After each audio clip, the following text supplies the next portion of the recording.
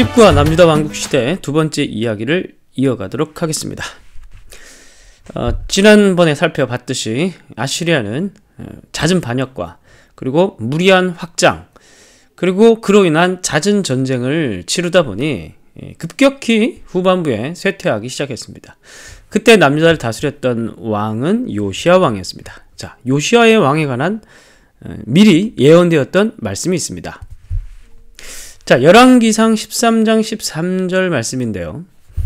이미 이제 요로보암 시대, 예, 분열 왕국 초기 시대 이야기죠. 그 시대 이미 하나님께서는 선지자를 통해서 다윗의 집에 요시아라, 남유다의 요시아라 하는 아들, 그러니까 왕을 낳게 될 것인데 그가 아, 그토록 오랫동안 지속되었던 우상 숭배를 단절하게 될 일들을 개혁을 종교 개혁을 벌이게 될 것이다. 그렇게 예언되었던 사람입니다. 굉장히 중요한 남유다의 왕이죠. 자, 그는 8살 때 즉위를 했습니다. 당연히 섭정 통치를 했겠죠.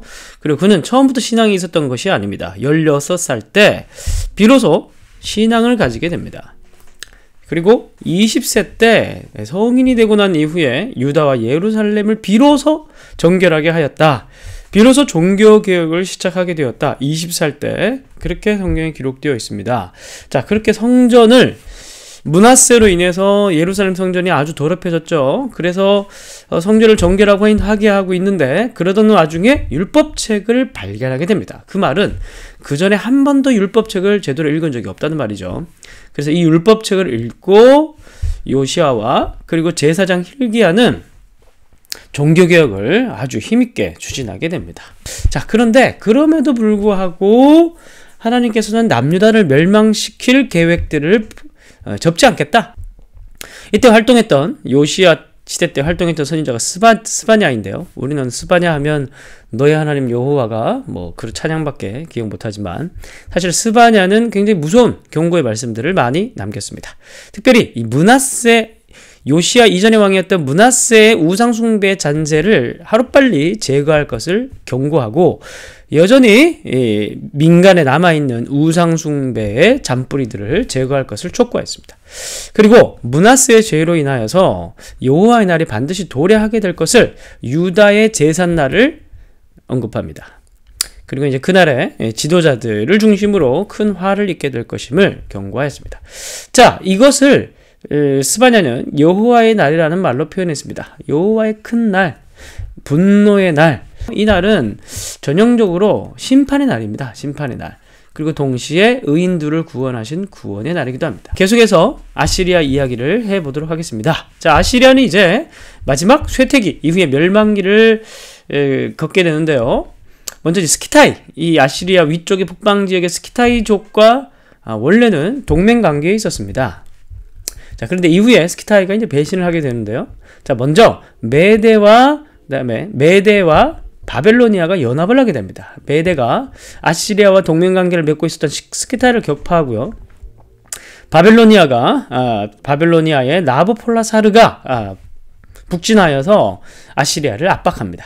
메데와 바벨로니아가 서로 연합해서 아수르, 아수르라는 도시를 점령하고 니누에 수도를 향해서 진격하게 됩니다. 그러자 신샤르 이슈쿤이라는 거의 마지막 왕이 왕궁에 불을 지르고 자살하게 되고 이후에 왕이 되었던 아슈르발리트 2세가 도망쳐서 하란에 에, 머물게 됩니다. 그래서 그는 하란에 그 전에 그토록 원수 관계였던 이집트의 네카우 2세에게 도움을 요청하게 됩니다. 자, 이집트가 이전에는 원수였지만 그런데 바벨 아시리아가 무너지게 되면은 이제 새로운 신흥 강국인 바벨로니아가 또 어, 메소포타미아 전체를 지배하고 또 이집트로 쳐들, 쳐들어올 것이 뻔하기 때문에 아예 이집트는 네카우 2세는 이 기회로 말미암아서 메소포타미아까지 진출할 계획들을 세우게 됩니다.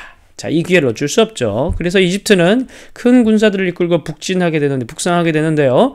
이때 이스라엘이 길을 열어주지 않게 됩니다. 남유다가 길을 열어주지 않고 무기토 지역에서 요시아가 네카우 2세와 어, 격전을 벌이게 됩니다.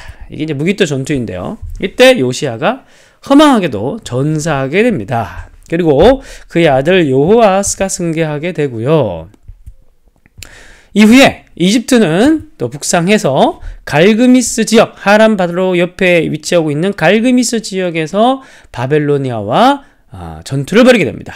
이때 거의 비등비등하게 싸우다가 결국 이집트가 지게 되는데요. 이때 이후로 새 경계선이 세워지게 되고 이 선 이하의 팔레스타인 지방은 이제 이집트의 경계가 되는 거죠. 그리고 4년간 이 경계가 아, 유지가 됩니다. 그리고 이집트는 돌아가는 길에 너무너무 화가 났습니다. 왜냐하면 요시아가 자기가 가는 길을 막지 않았더라면 승패가 어떻게 갈렸을지 모르기 때문에 그래서 어, 홧김에 그냥 음, 요아스를 포로로 데려갑니다. 요아스를 포로로 데려가고 그의 동생이었던 요아김을 왕으로 세우고 친아시리아 정책을 펼치도록 강요하고 돌아가게 됩니다. 자, 그러는 사이 바벨로니아 왕이 바뀌게 됩니다. 그 유명한 네부카드네자르 2세. 바로 어, 성경에는 느부갓네살로 등장하는 네부, 네부카드네자르 2세가 왕위에 올라가게 됩니다. 네부카드네자르는 그 바벨로니아 왕들 중에서 가장 전성기였고요. 가장 호전적이고 전투에 능하였던 왕으로 평가받고 있습니다. 자, 네부카드네자르가 이제 다시 이집트와 결판을 내기 위해서 올라가게 되고요. 이때 이집트를 제2차 갈그미스 전투에서 네부카드네자르 2세가 이기게 되고 그 길로 쭉 내려가서 남유다를 속국으로 삼습니다. 그리고 그때 바벨론 1차 포로들을 데려가게 되는데 그때 다니엘을 비롯한 유대의 엘리트 소년들이 잡혀가게 되죠. 그래서 다니엘서 1장 1, 2절에 여호와 김이 다스린 지 3년이 되던 해에 바벨론 왕 느부갓네살이 예루살렘을 공략해서 하나님의 성전의 그릇들을 가지고 갔다라는 이 기록 이게 바로 어, 1차 포로 유수였던 609년에 예, 있었던 609년에 있었던 일이 됩니다. 자, 이제 남유다도 거의 멸망의 위기에 멸망의 그림자가 어두운 그림자가 드리워져 있었는데요. 자, 이때 활동했던 선지자가 예레미야입니다. 예레미야는 특별히 성전이라는 거짓말을 믿지 마라. 너희들은 이 성전에 하나님이 예, 계실 것이다. 그런 착각들을 하는데 그래서 이 성전 안에 하나님이 계시기 때문에 절대 망하지 않는다. 우리는 그렇게 생각하는데 그렇지 않다. 너희는 절대 망하게 될 것이다. 이제 이런 아주 매국노적인 그런 예언적 메시지를 던졌던 선지자가 바로 예레미야입니다. 핍박을 많이 받았겠죠. 자, 그러나 예레미야 말이 결국 성취가 되어서 586년에 예, 587년, 586년에 남유다는 멸망하게 됩니다. 그러나 예레미야는 심판만 선언했던 것이 아니라 동시에 구원도 함께 선포를 했죠. 그러니까 구원을 위한 심판을 선언했던 것입니다. 이 구원은 너희들이 잡혀가지만 70년 뒤에 다시 돌아와서 새로운 예, 새로운 이스라엘을 건설하게 될 것이다. 뭐 이런 또 종말론적 비전을 예레미야는 선언하기도 합니다. 자, 어, 그래서 예레미야 말씀은 굉장히 예, 어두운 슬픈 이야기들이 많고요. 그리고 어, 예레미야는 우는 장면들도 많이 나옵니다. 혼자 기도하는 장면도 많이 나오고 구타도 많이 당하고. 자, 렘브란트가 그린 예, 예레미야의 탄식이라는 그림입니다. 예레미야의 오른손이 없죠. 힘을 잃은 조국을 얘기하고 오른발이 없습니다. 어디로 가야 할지 모르는 예, 남유다의 상태를 얘기합니다. 어, 턱을 괴고 있는 이 책은 성경입니다. 바이블이라고 적혀 있죠. 바로 하나님의 약속은 여전히 유효한가? 아, 이런 메시지를 담고 있다고 합니다. 이거는 마크 샤갈의 그림인데요. 붉은 빛은 뭔가 앞으로 다가오게 될 어떤 음, 슬픈 그런 전쟁의 참상을 예고하는 색깔로 보이고요. 그리고 이 파란색의 부분은 웅덩이라고 합니다. 예레미야가 자주 빠졌죠. 예레미야가 안고 있는 것은 두루마리, 바로 말씀, 약속의 말씀입니다. 그러나 그럼에도 불구하고 하나님의 말씀이 성취될 것을 강조하고 있는 그림으로 보입니다. 자, 다시 말씀드리지만 예레미야는 강조했던 부분 그리고 평생을 싸웠던 부분이 이스라엘이 가지고 있는 성전 우상 숭배적 사상이었습니다. 그들은 예루살렘엔 성전이 있기 때문에 절대 멸망하지 않는다고 얘기했는데 이런 거짓말이라고 예레미야는 얘기합니다. 결국 너희들은 멸망하게 될 것이다. 너희들이 정의를 행하고 어, 공평과 정의를 행하고 너희들이 율법대로 하나님 말씀대로 제대로 살지 않는 한 이 성전은 무의미한 무의미한 그냥 돌무더기일 뿐이다. 그렇게 예레미야는 선언을 합니다.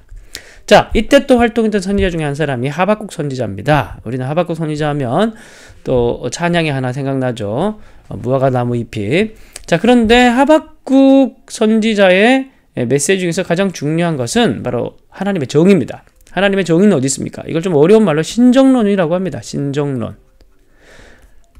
하나님의 예, 정의에 대한 물음인 거죠. 그래서 어, 하나님의 정의가 전혀 실현되지 못했습니다. 하나님의 정의가 굽고 있습니다. 이렇게 갈대아 사람을 일으켜서 여러 나라를 무지하비하게 멸망시키는 것이 과연 옳습니까? 그게 하나님의 정의입니까? 왜냐하면 갈대아 사람들 또한 아주 나쁜 사람들이었기 때문에 아주 무자비한 야만족들이었기 때문에 이런 사람들을 하나님의 심판의 도구로 사용하는 게 옳습니까? 그렇게 의문을 가졌던 것입니다.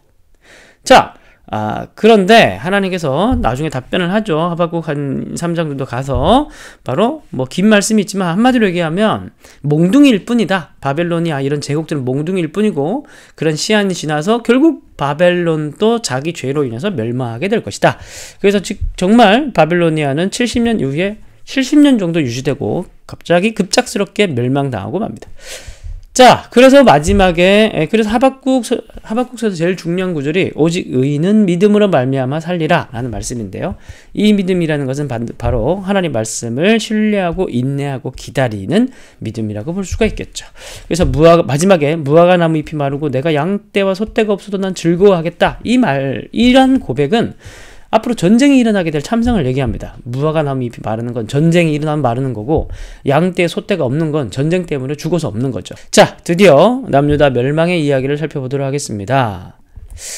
자, 어, 바벨로니아가 굉장히 큰 강대국이 됐습니다. 호전적인 왕이었던 느부갓네살로 인하여서 아시리아가 처음에 확장했던 영토들보다 훨씬 더 넓은 영토를 바벨로니아는 가질 수 있었습니다. 자, 이후에 여호와 여호야김이 세워졌는데 여호야김이 암살을 당하고 맙니다. 여호야기는 느부갓네살에 출격했을 때 이때 포로로 사로잡혀 가게 됩니다. 자, 그리고 마지막 왕이었던 시드기야도 또한 처음에는 조공을 바벨로니아에 잘 바치다가 나중에 또다시 친 이집트파의 목소리를 듣고 바벨로니아로부터 돌아서게 되고 반역하게 되고 다시 느부갓네살이 3차로 출격해서 어, 이 남유다를 마지막으로 멸망시키게 됩니다. 그게 587년, 586년입니다. 자, 587년에 1월에 느부갓네살은 예루살렘 남유다를 포위하게 됩니다. 그리고 586년 7월에 함락되게 되는데요. 장장 18개월 동안의 공성전이 벌어지게 되는 것이죠. 그만큼 예루살렘은 난공불락의 요새였다는 사실을 알 수가 있습니다. 자, 끝내 버티다가 성전이 있기 때문에 하나님께서 어, 우리들을 지켜줄 것이다. 그런 망상에 빠져 있었던 남유다 백성들은 한 150년 전에 있었던 히스기야 왕 때 하나님께서 어, 눈을 떠보니 18만 5천 명의 예, 군사들이 아시리아 군사들이 죽어 있었던 그 기억들 그 역사가 다시 재현될 것이라고 생각하고 있었지만 그런 일들은 벌어지지 않았습니다. 결국 성이 함락되었고 성이 함락되던 날 밤에 시드기야 왕은 비상 탈출론을 통해서 여리고 쪽으로 탈출했는데 여리고에서 잡히고 말죠. 거기서 자기 아들 두 사람이 아들 둘이 자기가 보는 눈앞에서 목이 베이고 그리고 바로 어, 느부갓네살은 시드기야의 두 눈을 뽑아서 자기 본국으로 데려가고 맙니다. 시드기야 왕은 그렇게 비참한 치욕을 당하고 말고 성전은 파괴되고 이스라엘 남은 백성들은 쓸만한 사람은 다 포로로 바벨로니아로 잡혀가게 됩니다.